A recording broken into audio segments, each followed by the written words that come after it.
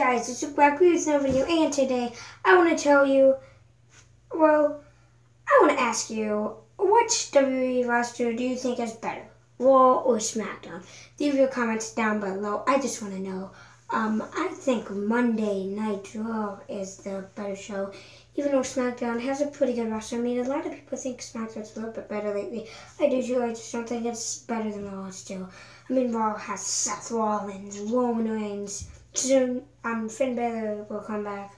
Um yeah and Big Cass, Kevin Owens, all these great names.